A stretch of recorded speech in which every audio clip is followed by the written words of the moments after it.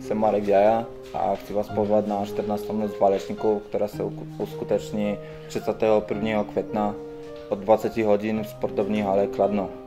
Budu zápasit eh, v tajském boxu do 67 kg.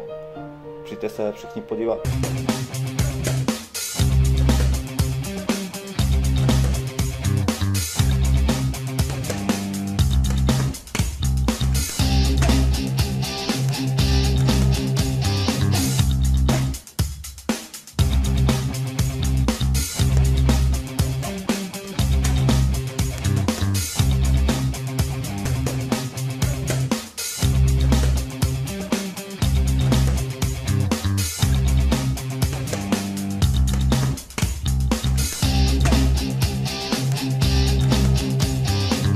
Marko, jak dlouho se věnuješ bojovým sportům?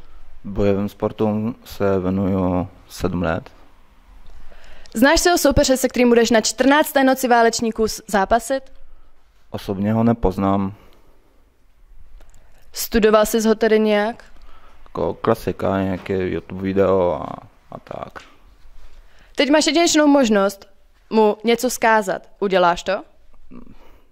Asi ne. Na co by si chtěl nalákat lidi, aby se přišli podívat na květnovou noc válečníků? Skvělé fajty, tvrdé kolena, krvavé lokty a jedinečná atmosféra. To tam všechno bude. Tak díky za rozhovor a ať se daří.